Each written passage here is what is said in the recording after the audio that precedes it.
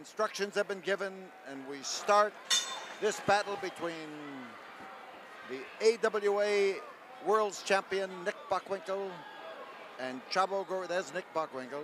Chavo Guerrero, former junior heavyweight champion of the world. This is a non-title match. Bockwinkel told Chavo to go get a reputation before he could have a battle for the title.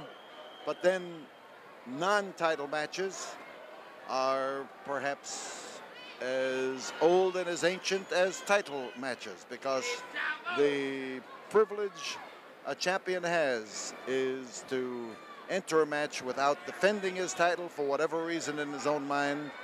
And unless the championship committee of the AWA sees fit to order Bockwinkel into it, Bockwinkel himself can avoid people or meet them in non-title matches. And he himself is a man perhaps of a little bit superior intellect and in his own mind superior ability to think and to out-wrestle his opponents.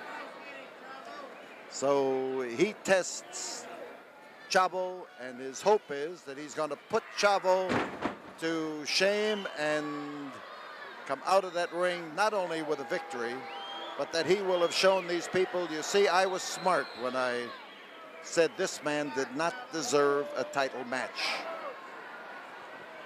Chavo must, must overcome the weight advantage, but he has done that before in many surprising matches.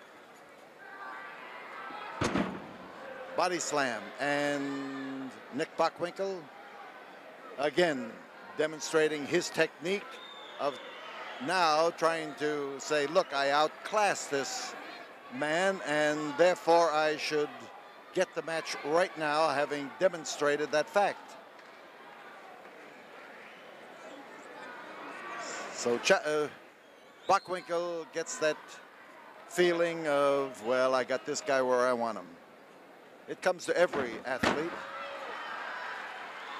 And suddenly, Chavo Guerrero comes to light, and Chavo doesn't stand around after having flipped this man or bounced this man. And listen to the uproar now as they back Chavo Guerrero here in an effort to establish his credibility with fans and with Nick Bockwinkel. So now, Chavo having tasted what Bockwinkel can do, Bockwinkel having suddenly had the tables reversed, he takes a side headlock, one of his favorite moves. He thinks that takes a lot out of a man. And there is a quick move by Chavo Guerrero as he comes out from underneath, rolls with it, and comes up with a standing arm lock. There's the pressure, and as Chavo pours it, bends it down, we've got the effort made by Chavo Guerrero paying off.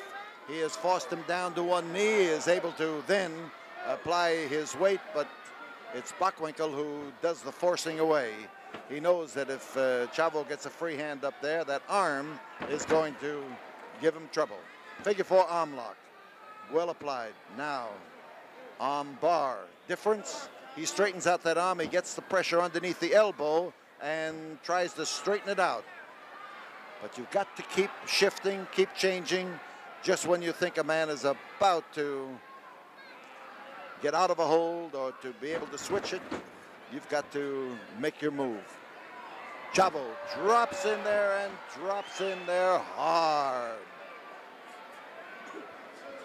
So Hammerlock is Chavo's grip, and Bockwinkel, prone on that canvas, suddenly finds that the man he was belittling, and he started off this match, I thought, in a supercilious manner and trying to make light and small of Chavo, but now he suddenly finds that uh, Chavo is giving him all that he can handle. Nice bridge by Bockwinkel to keep his shoulders up, but that doesn't mean that he has won the match. That merely means he's got a strong neck, but he's expending a lot of energy in trying to keep that referee from getting a three count.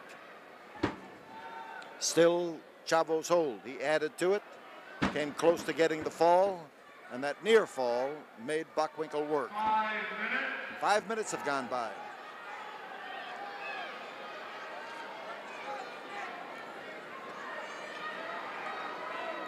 There's the pressure on the arm. And again, he puts a twist on it. He has an arm bar. He works on it so it goes all the way up to the shoulder. And from elbow to shoulder, it is all Chavo Guerrero's effort. And Nick, having taken the pressure, is now in trouble. Chavo. Chavo looks to be in great shape. He is the son of his father. There is no question about that. His father was a, a dedicated trainer, a driving shoulder butt. Chavo steps in there and keeps after him. Both these wrestlers, the, the champion in this non-title match and the challenger, are second generation wrestlers. Chavo, son of Gory Guerrero, former world's light heavyweight champion and junior heavyweight champion. Nick Bockwinkel, son of Warren Bockwinkel, who was a great star in his own right. But on this card here at the Sam Houston Coliseum, tonight there are six wrestlers, six wrestlers that have known the wrestling game from the time that they were old enough to walk.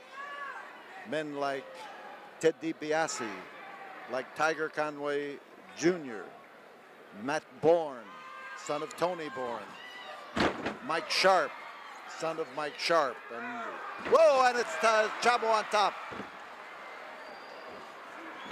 There is a quick whirling dervish move that slammed Nick Bockwinkel not only down to the canvas, but into the canvas.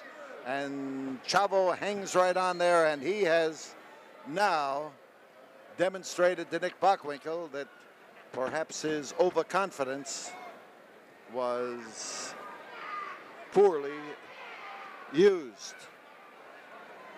Same arm, same different hold, a little bit different nuance of pressure on there.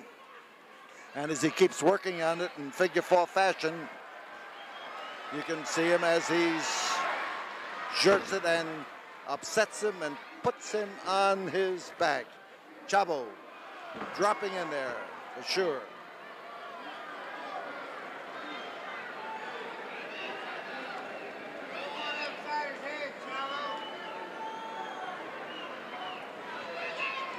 Chavo comes in with both knees that time and caught it from Nick Bockwinkel. Bockwinkel reached down into his bag of tricks and put a stop to the punishment that was coming his way. And as he comes in, he slaps on a body scissor, which is, again, something that comes with experience. He has just had his arm worked over and jerked from side to side and literally, you notice that it's right around the elbow. I mentioned before that he, the pressure was around, around the elbow.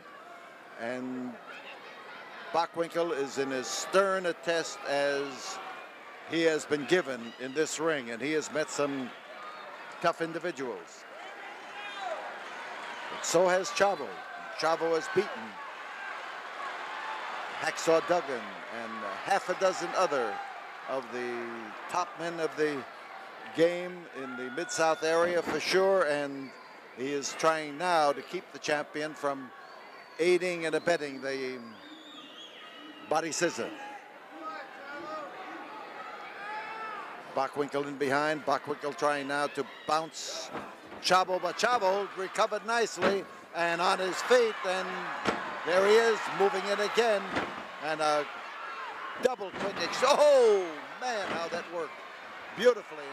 Chavo again, springing up to his feet, and Nick Bockwinkel must think that he is in there with a kangaroo. The speed with which Chavo Guerrero has leaped to his feet and the manner in which he has managed to astound Nick Bockwinkel, beautiful to behold. Note that the same arm is, is, is used there and that the elbow was straight, still straight. Even there, there we have a close-up picture as our director Ed Worthington moves in, gives you an idea of what's happening as Chavo changes the maneuver. The 10-minute mark comes up and Chavo with what we in wrestling call a Mexican move. He stepped around there and used the uh, leverage, and this is a quick move that is made by a number of good Mexican wrestlers. And Chavo is one of those. But he stepped in there to use his own foot as leverage and to bend that arm as he fell away from it. Bockwinkel. Now, trying to first get some leverage where he can move that arm without cracking his elbow. Chavo giving the turn.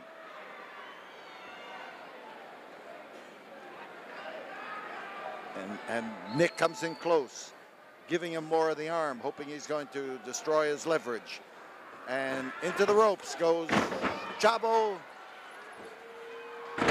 Well, oh, kicked him right in the kisser. And again, body slam. And the champion recovers enough, but he got that same pair of feet into his face, and oh, what a wham down for sure. He didn't know whether he was coming or going. He hit that mat so hard that when he rose up to his feet, he didn't really know which foot to put forward. And that's a bad predicament to be in. Chavo Guerrero hangs on tight. He knows he's got an advantage. He knows that he has whipped the champion off balance repeatedly in this match and that the body slams had to take their toll.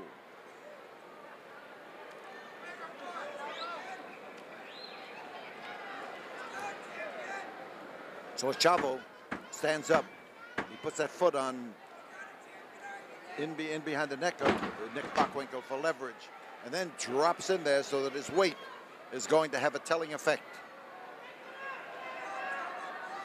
And Bockwinkel, you can bet, is wondering what in the devil happened to all of his plans to expose Chavo Guerrero as an easy mark and certainly not a man deserving a world championship shot.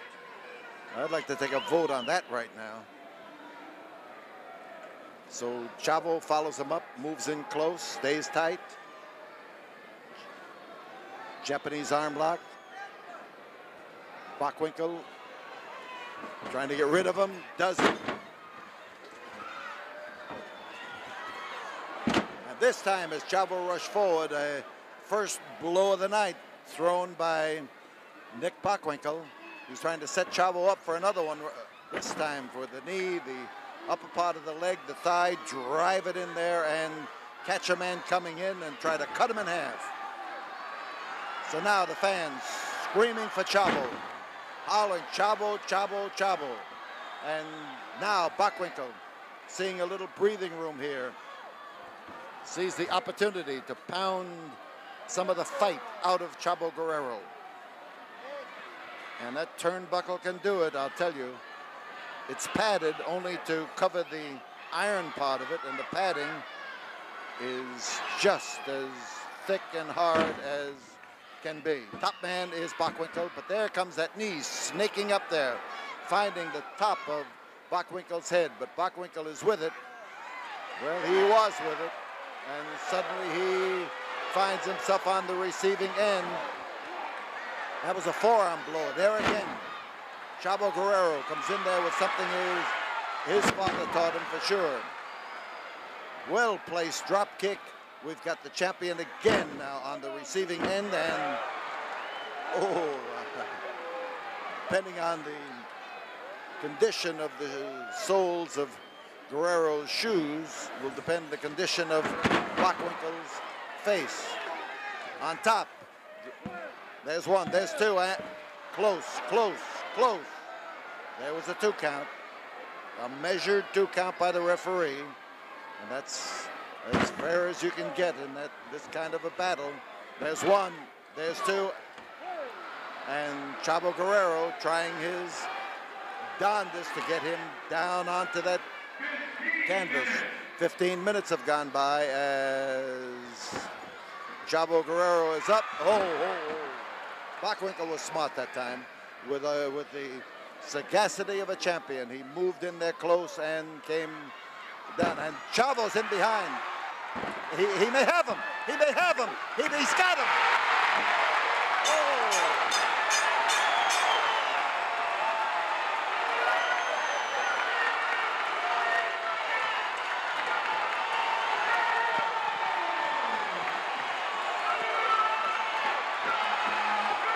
Chavo Guerrero. He asked me to come up here. Chavo. Oh, I knew I could do it. I knew I could do it. And now, I want to ask you a little favor. I've been a friend of yours. I know you're the promoter. And all I want, you can't make promises, but you can't try to sign that match for me. I want the belt. He said he could beat me, and I beat him. I want the belt. Chavo, I'll tell, promise you one thing. I'm going to the AWA with this. You've proven that he was wrong. You've proven that you were right, that you deserved the championship match, and there's no question about that. You know, he questioned my integrity. He questioned my experience. He questioned my aptitude. Nick Bockwinkel, I have proved beyond a shadow of a doubt that I can beat you. And I think I'm next in line for that belt. It's got to be. I just beat the man right in the middle. One, two, three. I'm just asking you to use whatever you can to please give me that match. I'll do whatever I can. I'll do everything I can. Muchas gracias, amigos. Yo creo que yo de ser merezco una oportunidad al campeonato. Dijo que no le podía ganar, le gané.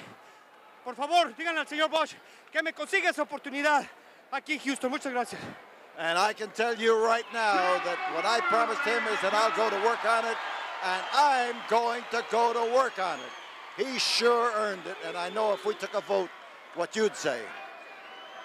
With me is AWA World's Champion Nick Bockwinkel.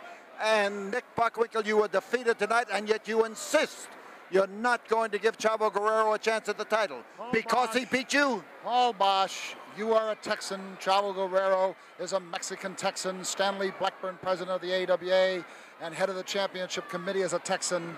And this coveted belt that I hold is emblematic of the finest athlete in the world. And when a man comes along that can pin my shoulders for three seconds, He did. I- he pinned I- you. Oh, you seem so vehement. That's right, Does because thou- you're vehement in refusing. thou protesteth too much, Mr. Boesch? I protest this to the AWA Championship I Committee. I have had dozens of people tell me it was two and a half seconds. Two and a half seconds, you do not defeat a man, you do it in three seconds. Chavo Guerrero, you didn't beat me, but we're in Texas country, and I guess that's what the problem is. As far as I'm concerned, he never and should never get a heavyweight championship match for any reason whatsoever. And I will see what happens when I go to the AWA Championship Cry, Committee and cry, present sure, the case. Thank cry. you. Yes, I'm sure you will.